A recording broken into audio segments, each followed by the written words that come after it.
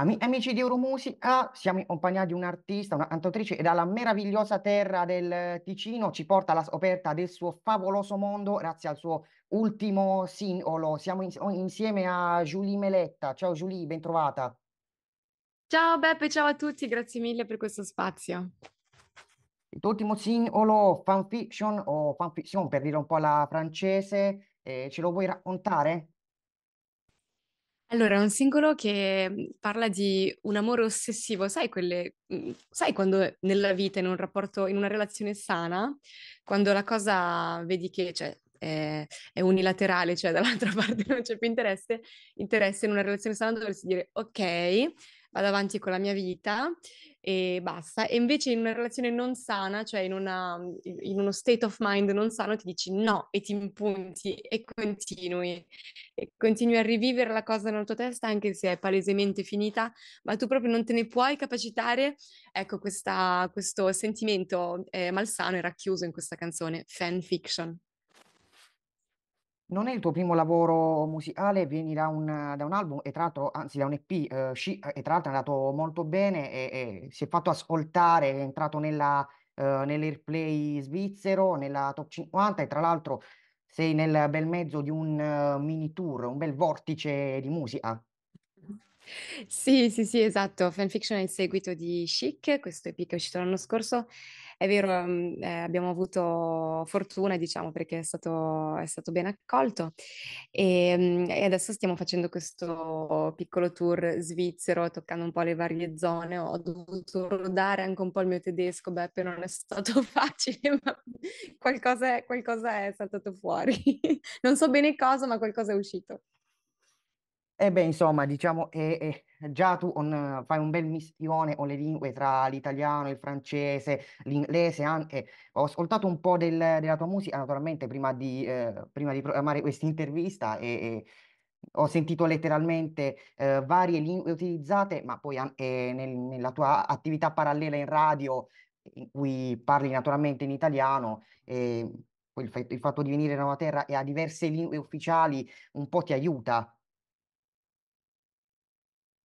Sì, allora devo dire che eh, essendo io francese, cioè sono eh, di madrelingua francese, poi vivo in- nella Svizzera italiana, però il francese è la lingua con cui sono cresciuta, quindi mh, eh, baro in questo senso, non è che l'ho imparato dopo, mi è stato un po' regalato. E mh, poi vabbè, l'inglese ormai lo, lo dobbiamo, lo dobbiamo conoscere almeno un pochino per muoverci nel panorama musicale, anche per le mm, public relations, come si dice.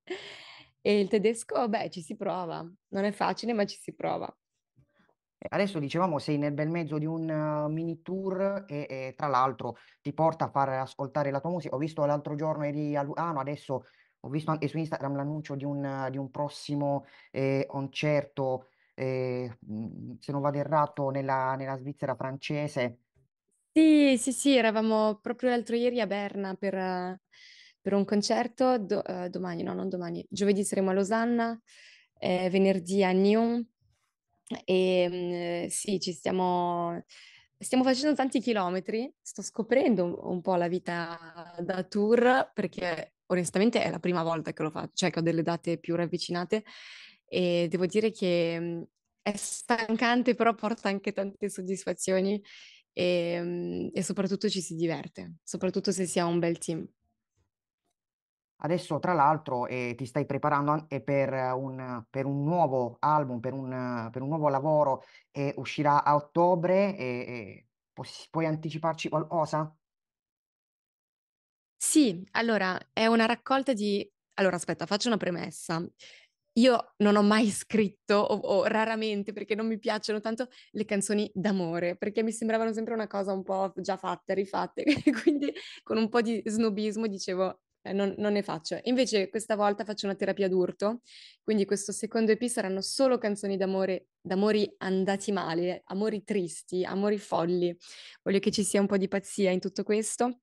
E, e sarà appunto una raccolta che si chiama Amarcœur, che è un gioco di parole tra Amarcord, quindi il eh, Amarcord, parola romagnola, no? Mm, eh, mi ricordo, e, nonché film di Fellini, e cœur, che è la parola francese per cuore, e quindi saranno dei ricordi, cose mh, di cui ti ricordi del passato, ma di, mh, di cuori infranti. E saranno cinque pezzi, tutti in francese, lo stile è sempre un po' quello che si ispira alla musica yeye francese anni 60-70 e vediamo, vediamo che, che, cosa succede. Fanfiction appunto è il primo singolo estratto. Ecco, adesso tra l'altro siamo an- eh, eh, in pieno periodo eurovisivo perché tra pochissimo inizia l'Eurovision Song Contest, la Svizzera quest'anno parteciperà on, eh, on Nemo, so che conosci molto bene il brano, l'ho sentito diverse volte anche in radio, e, e, ma sentiremo mai un tuo pezzo lì su quel palco? Ti presenterai alla selezione l'anno prossimo?